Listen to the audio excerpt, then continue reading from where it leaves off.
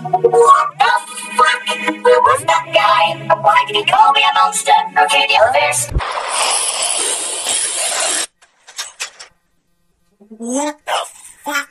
Who was that guy? Why did he call me a monster? Okay, the with